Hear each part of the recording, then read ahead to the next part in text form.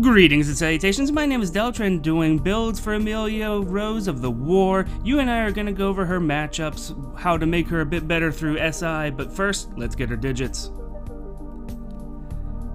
So we're looking for 42, 35 for offensive, and 32 for defensive stats, and Ooh, there's a bit to look at here. That defense is 35. Now, she's an armor unit, so of course it should be high. And if you look at that, you're probably thinking that's a little bit low for an armor unit. However, 35 is still very doable. And if you look south and notice that her resistance isn't a dumpster fire, and then north to see that her offensive stats are only one away from what we like to look at, oh boy she really is coming up smelling like roses. 47 hit points is also a little low for an armor unit, but it's high for pretty much everybody else, so we have a very, very usable unit here.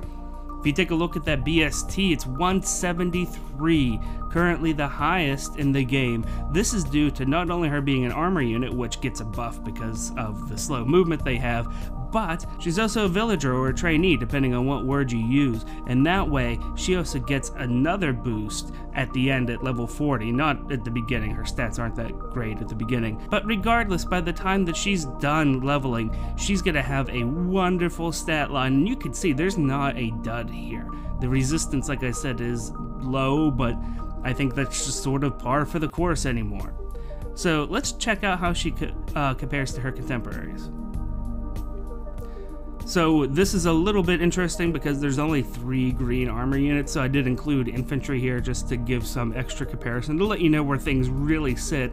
Uh, Hector and Bartre are at the top for hit points, Hector actually having the most. And for the most part, uh, Amelia's is actually fairly high. It's not dead middle, but it's not high enough to just want to bump her up there. Of course, Raven being the lowest hit points. Uh, attack wise, we also see Hector and Bartre, but Amelia is pretty much right up there. She's only a couple points behind, so she deserves being up there. And everybody's uh, favorite uh, cash grabbing commander is at the very bottom as far as attack because she's at the very top because of speed and Amelia is right on her heels. So, in heavy armor, that is very impressive. I think it's because there are no huge heels in that armor. I think that's what's going on here. So I think I'm pretty much going to demand that all of my armor units get rid of their heels on their boots. That's that's going to be my course of action as summoner. I don't know about you. And then, of course, at the very, very bottom, we have Hector as far as armor units, and poor old Hawkeye is never going to leave that spot as far as speed. Defense wise, I left it straight armor units because they basically run the gambit here. But there's not a huge spread. Two points higher is Hector, one point higher is Sheena, and at the very bottom is Amelia. Resistance wise, Sheena is at the top with Hawkeye. Okay, good. There's some redeeming value to him. And Amelia is pretty much actually about average here. And then Bartre is at the very bottom uh, maybe it's because of his tactical lessons he gives. I don't know. Let's see what this lolly pops us with.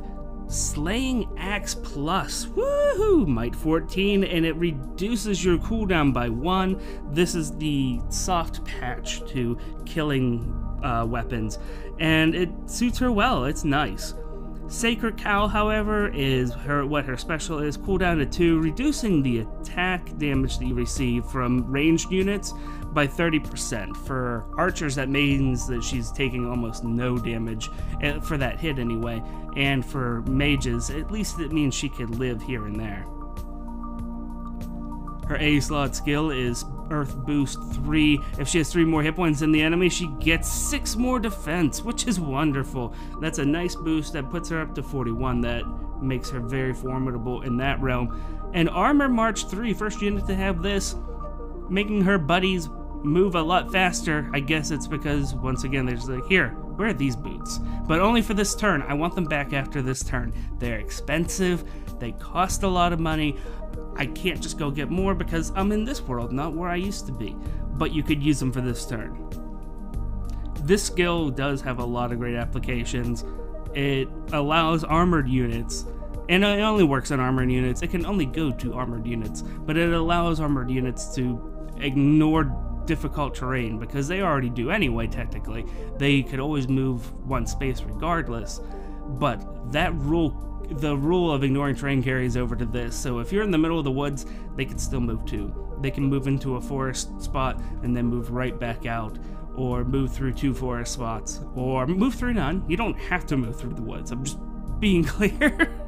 uh, it's it does offer that nice benefit, and there are several maps where that comes into play big time.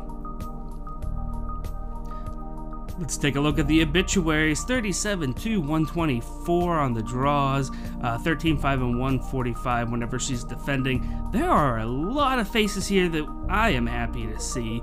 There's Azura, there's Delthea, there's Nowi, uh, Reinhardt, Robin, Julia. when it comes down to it, and Linde, hey Linde, how you doing? Dead. That's how you're doing. Dead. This is a wonderful list. It's filled with a lot of upper tier units, and it's filled with a lot of units that cause you grief. Uh, and there, I have some. Uh, this isn't all of them. Uh, if you count, there's not 37 here, but this is just a, a selection. And honestly, I have a lot of the higher uh, hip, uh, higher defense ones, higher hit point ones here. She does really pack a punch, which is fantastic. On the flip side, whenever we're defending, we lose against five. Uh, on the attack, we lose against Hana and Tobin. And it's not a surprise that we see a third Armor Slayer user down in that bottom row, along with two mages. This is pretty much all that kills us whenever they initiate on us, at least vanilla. That's not bad. Though that's it's easy to remember to stay away from them, especially if you're in an armor emblem team. I mean, someone's gonna have to go up there and take care of those armor slayers. But regardless, you can handle this. It's absolutely fine. And it's at this point I want to talk real quick about how to actually play as Amelia. She has Sacred Cowl as her special, she has Armor March as her C slot. I think it's a little bit obvious that you do want to put her into an armor team so that they can actually benefit from moving forward. Remember, it only works for one turn. You have to be adjacent to her, not two spaces away, not anything like that. Adjacent to Amelia in order for Armor March to work again. You want to have your armored units walking along the battlefield as a core, which is not anything new. They don't really go too far. But you could also use this as a neat way to use reposition on somebody to fling them across the field and then have them run through the woods and putting them into a very specific spot. Maybe you do that with a Hector or someone with distant counter. But otherwise, Amelia could take a big hit. And with Sacred Cowl, as long as you charge it up from melee attacks first, she could also take a hit from mages once or twice, as long as they're not red. I would not recommend doing that. But otherwise, any other color, go for it. You could go ahead and tank a hit, especially with Sacred Cowl charged up. And so really, it's, it's as simple as that. Support your allies and act like an armor unit. As far as some budget skills to inherit, she is missing an assist skill, so that's reposition time, or swap. Swap works rather well on armor units. A little less so in this case since it can actually move two if you have them all grouped together. If you're running Amelia without her core of armor, maybe you could go ahead and go swap. It works out rather well. Just remember, swap is a bit more defensive, whereas reposition can be more aggressive or just more drastic, and you can redeploy basically with reposition. As far as that B slot skill, Lance Breaker 2, surprise, surprise, fills up most of the uh, lacking uh, kills you have in blue. Green Tomebreaker is nice because there are high speed mages like Nino that you're not killing, and you need to be able to ha uh, have something like Green Tomebreaker because let's face it, even though she wasn't on our obituaries as someone who kills us, she's a Blade Tome. She's going to be buffed. She's not coming at you vanilla, so you need to be able to take care of her as a threat, and Green Tomebreaker is going to do that. She's very popular in Arena, not the most popular, but very popular enough to worry about. Desperation 3, if you have a plus speed Amelia, this is why it's here. If you have a plus speed Amelia, she's a good Desperation user. If you do not have a plus speed Amelia, she goes into an okay enough realm, and for a unit like Amelia, that's not worth worrying about. So if you have plus speed, you could consider Desperation, it's going to work. If you don't have plus speed, eh, you should move on.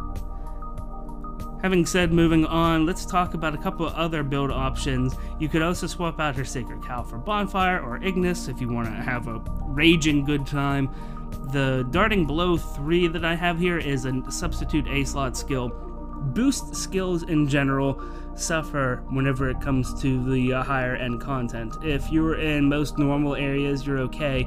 However, an elite version of all the heroes that we know and love will have anywhere between 40 and 60% more hit points than they normally do. That sort of renders this useless in pretty much every case that matters. So I like to throw away boost skills just because it's not worth working around later on. And in this case, Darting Blow 3 really, really, really comes in and helps out her kills. You could go ahead and co combine this with uh, Darting. Uh, you can go ahead and combine this with Desperation if you want, and using that, she actually is a pretty good one. She's not a great Desperation user once again, so if you're looking at something else for the B slot, just keep on going on. Let's talk about full builds, and I really only have two, and the first one I don't even have stats listed for you because pretty much it's what everybody's looking at wondering if she is good at. So, if you have a spare Hector, and your Amelia is plus attack, you could give Amelia distant counter and you could give Amelia quick riposte, and she is going to perform better than Hector.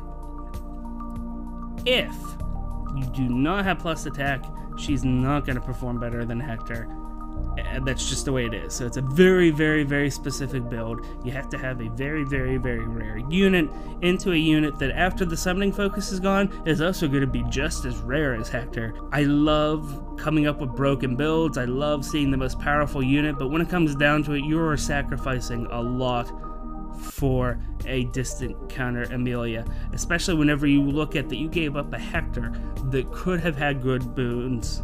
Maybe you don't hey, that's that's totally your choice to be able to do this. But to me, Hector with that open B slot can use Wings of Mercy, which he's amazing with. You can give him Vantage, which he's amazing with. You can't do that with a distant counter Amelia. She does have a better uh, obituary page whenever she has plus attack compared to Hector. It's, in my opinion, it is not worth it. Now, if you really do have two or three Hectors sitting around, yeah, go ahead. Give it to Amelia because, like I said, if she's plus attack, she has a very similar stat line, and she's going to be just as much of a pain in the butt initially to enemies in PvP arena.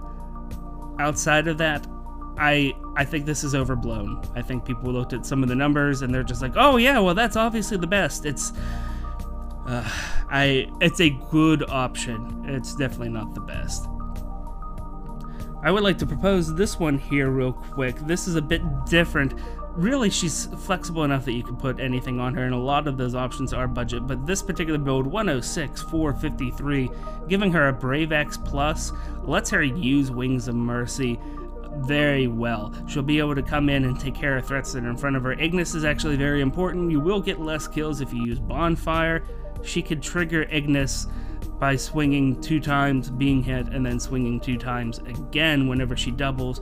This is important, so don't think that I have this here just because I like to have large hits. It is giving you a few more kills, and one of them is actually rather important. Reposition, as always, that's here, and Swift Sparrow is on this particular build because I hate to see those wonderful defenses ruined with life and death. So that's here, and then I left Armor March 3 here. You could go ahead and change that out if you really want to that's uh, up to you. It won't matter that much. It doesn't assist the kills in the build. It just assists her getting somewhere uh, sometime before dinner. So this is probably uh, the build that I'm going to go with, and it actually works out rather well uh, for most situations. And hey, do me a favor, if you're on mobile, rotate your phone into portrait mode. If you're on desktop, hit escape to leave full screen mode, and hit that like button if I've given you something to chew on. If you missed any of the latest Fire Emblem information, tap or click on the links on the left. And if you like your info hot and fresh like Grandma's cookies, hit that subscribe button. My name is Deltran. Thank you guys so much. I greatly appreciate all of you. And until next time, take it easy.